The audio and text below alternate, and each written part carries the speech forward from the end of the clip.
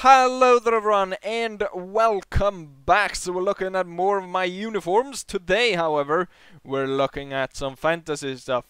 To be correct, Warhammer Fantasy.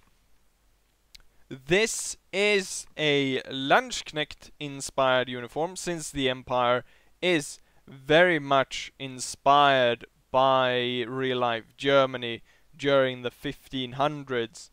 Um, and yeah, so uh, here we have it. I actually made this myself, believe it or not. I made the jacket and the pants. And uh, the cod piece as well. I'm gonna go go ahead and do some jumping just to show you.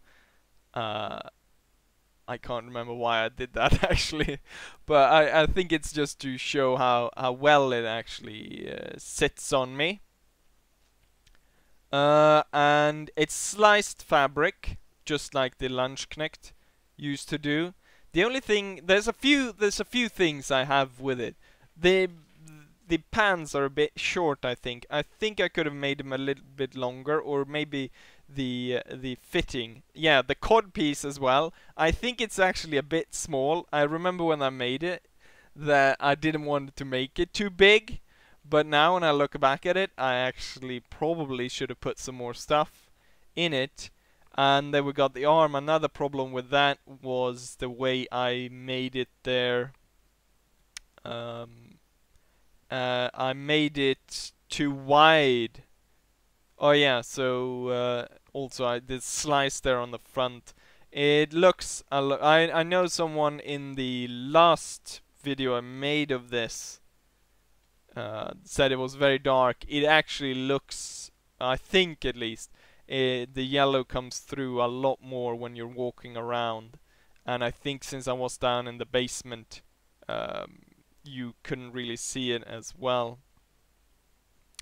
And there I'm showing a bit of the fabric. So it's a it's a thicker wool fabric, and then we have a uh, a lighter linen fabric in there yellow and black. I probably should have done some more yellow uh, on on sort of the sort of the main piece rather than having it all be yellow on sort of the inside. Right so we're gonna show uh, some accessories you'll have you can have to this. And this is a, a breastplate. It's actually not mine.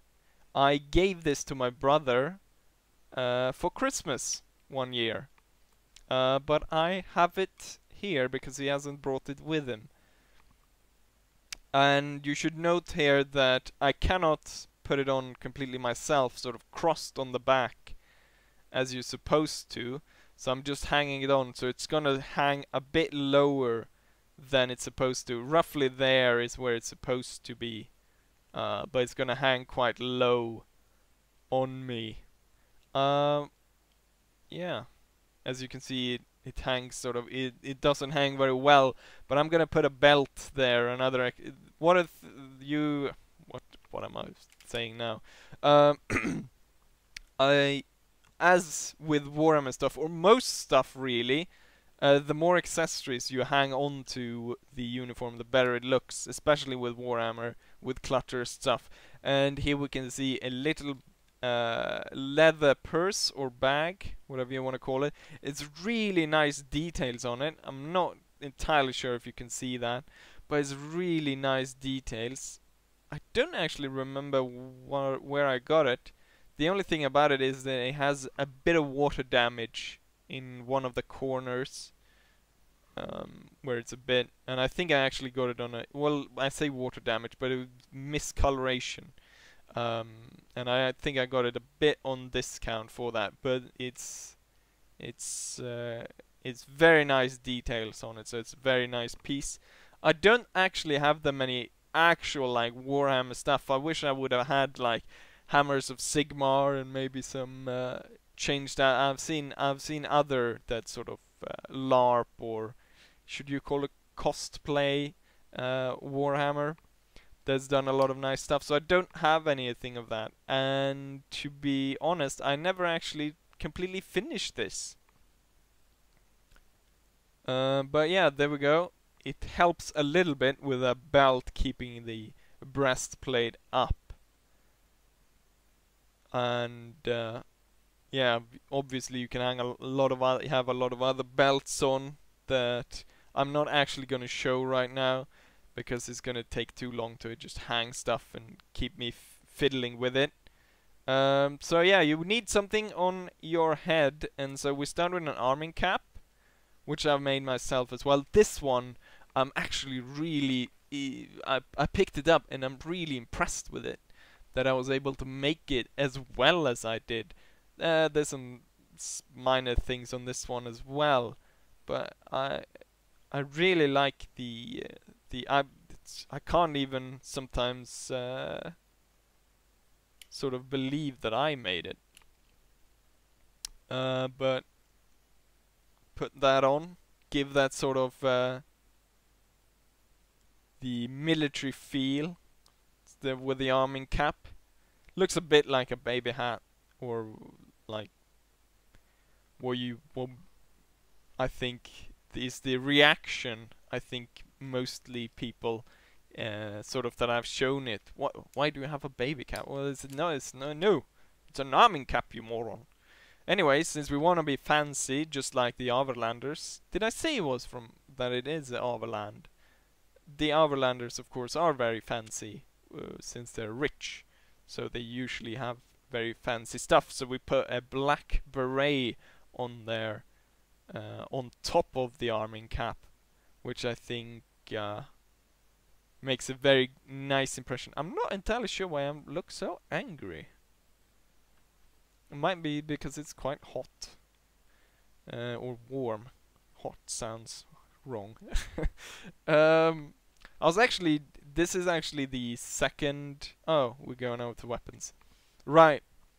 Since it is LARPing, I do have a LARPing weapon for it. Or a, a foam rubber weapon um, and it's a uh, Zweihand, or Zweihand, or two-handed sword uh, that I bought from uh, second-hand from a guy. And there, just to give the the length of it, the door is about what the standard of doors is two meters. Um, I am 180, and the sword might be what 175 centimeters. So it's a pretty big sword. And it got some nice leather details. So it's very it's a very nice sword. The only thing about it is it's I oh goes hit the lamp. Uh, it's got a bit of since it's latex on the outside the latex sort of it doesn't react very well with uh, sunlight. So I think uh, that has been like I've I've had it in uh, in my room close to the window and sun has come in and, and sort of done some miscoloration. I have repainted parts just for this video. And then we see some uh, nice the nice leather uh, there in sort of the is it called a half hand grip? Where you sort of if you come close in and you need to uh, be able to slice a bit better you have that so you sort of shorten the uh, the reach of your weapon. Very nice looking. Obviously people gonna talk about me getting a, a real uh, but that's that's quite expensive and that would be for something later on. Um didn't talk about the shoes. Uh, I was about to. I was actually showing them in an earlier video, which I I I had to redo this. And in the earlier one, I actually showed the the shoe up close. Um, but it's not that much. It's it's a pretty nice shoe though. Um, okay, here we go. The uh, the helmet. I should say in all of this, if you want more pictures, and there are, uh, I post a lot of them on Instagram. So here we go. A uh, a helmet that was very popular during the 1500s. The Spanish, Spanish-Italian uh, Morion helmet, most notably for the conquistadors, the conquistadors, I should say. Um, so uh, I do believe that I gave this is also a gift. Yeah, I'm, I'm being Italian, if you or Spanish. Uh, I guess Italian since I'm talking with my hands. Um, I believe I this is also a gift I gave to my brother. And he hasn't picked him up since he lives in another town, and he doesn't actually. Uh, he has to travel by bus, and there's some, I guess, some problem bringing this with him. The uh, easiest way is to wear stuff, but wear armor parts is a bit too much. Um, and here we go, some other weaponry. We got a shield and just a one-hand sword there. I was actually thinking, I was inspired actually by something I saw on Instagram where there was a uh, there's a girl in Australia that uh, does sort of LARPing as Averland, and uh, she had this really nice banner of the the sun that is the symbol of the Averlanders, uh, which I was thinking maybe I should paint that on the front of the shield.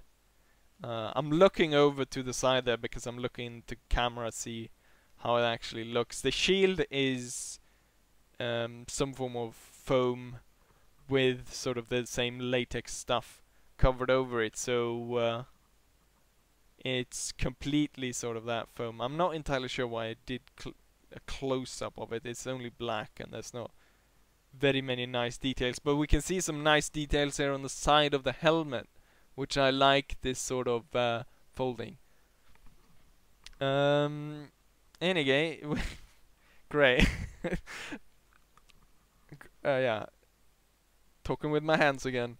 Uh, so yeah, any questions and stuff? Uh, free to uh, comment about it. Um, more pictures will definitely be be put on Instagram of this if you haven't seen that. And uh, I still got some more historical stuff uh, if people are more interested in that. But hopefully you guys enjoy this and hopefully I'll see you guys for the next one. Bye!